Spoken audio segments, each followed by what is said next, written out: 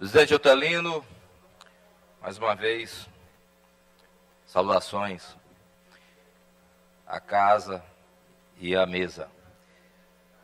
Queria primeiro cumprimentar o técnico legislativo dessa casa, Anderson Rocha, onde ontem tive o prazer de participar da sua, do lançamento do seu livro, que trata exatamente das nossas práticas parlamentares. É um livro sobre o regimento da casa e, diferentemente de outras experiências, de outras publicações, é um livro comentado. Muito importante para o conhecimento de causa das nossas assessorias, o livro do Anderson, e muito importante também esse livro sobre o funcionamento das, da, da Assembleia, porque é similar ao funcionamento das câmaras municipais. Portanto, recomendo que essa publicação seja pauta dos poderes legislativos do Maranhão, inclusive o nosso publicação, trabalho que deve ser prestigiado por todos nós. Por fim, presidente, queria, deixei para fazer nesse expediente final um balanço do que foi a caravana Lula Livre Brasil Livre, que viveu a sua primeira experiência na cidade de São Bento. A priori nós iríamos fazer a caravana no município de Viana, mas haviam dois grandes eventos na Baixada previstos para esse final de semana. O evento do PDT na cidade de Pinheiro, que o, o nobre presidente participou, e várias inaugurações em algumas cidades da Baixada, dentre as quais Matinha, que fica muito próximo a Viana, do governador Flávio Dino.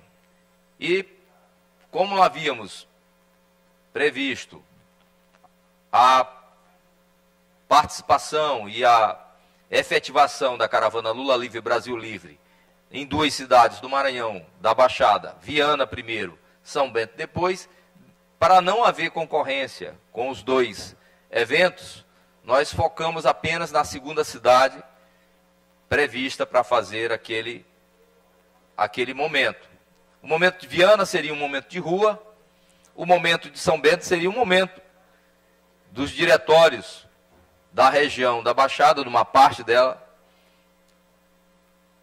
interno, que seria realizado lá na Câmara de Vereadores. Mas, devido à motivação daqueles 12 municípios que lá se encontravam, com as suas direções, terminamos que encerramos o encontro de São Bento com a participação da caravana. O que é a caravana?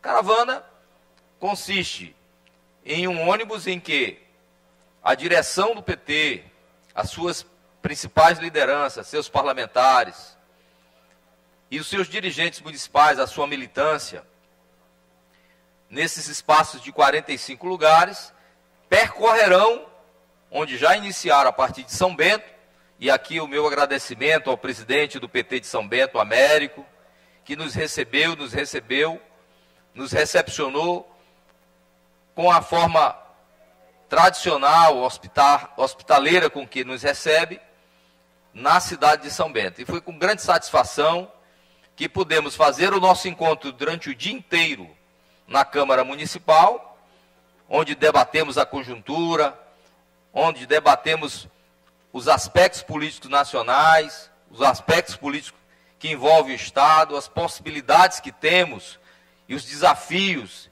e o papel que o Partido dos Trabalhadores exerce nesse momento difícil e complexo da conjuntura.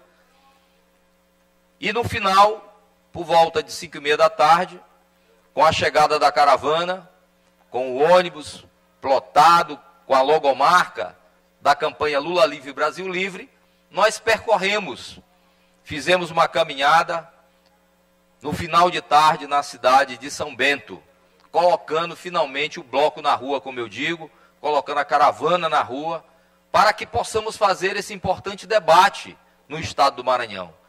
numa verdadeira disputa de narrativa mesmo. Nós precisamos interiorizar a mobilização do povo para que o Maranhão, a exemplo de outros estados da federação, demonstre ao governo federal e ao Congresso Nacional, que tem sido conivente com os desmandos que o país vive, para que o país e o governo federal e o Congresso entendam que o estado de coisa de governança que somos submetidos atualmente não dialoga com os interesses e expectativas do povo.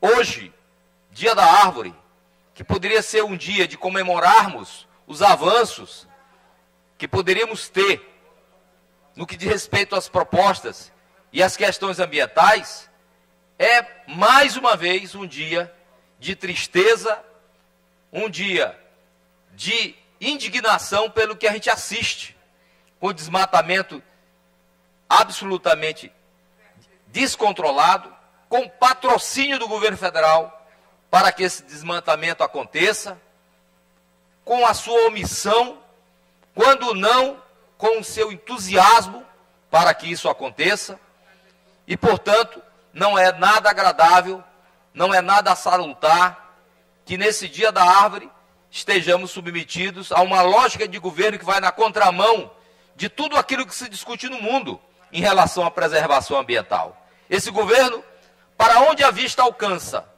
é um desastre. Os resultados são os piores possíveis.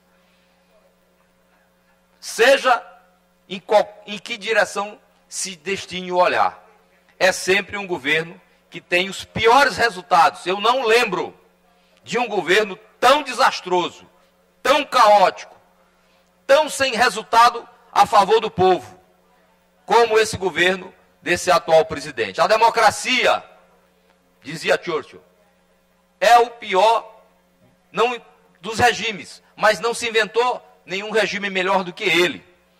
E eu tenho certeza que ano que vem a população que o colocou haverá de ser a população que irá, irá escorraçá-lo da presidência. E a palavra é essa mesmo. Porque todos os danos que essa nação está submetida, não tem outro termo que não seja de escorraçamento. Mais uma vez, presidente, somos submetidos ao vexame internacional. O Brasil que se orgulha do que Oswaldo Aranha fez, é tanto que o Brasil é o primeiro país que faz a abertura das sessões da ONU. O Brasil se envergonha está submetido outra vez à chacota e ao vexame internacional, porque o presidente sequer pode frequentar um restaurante, deputado Paulo Neto, porque ele não se vacina. Ele se nega a fazer a coisa mais elementar com a sua própria saúde, que é se vacinar.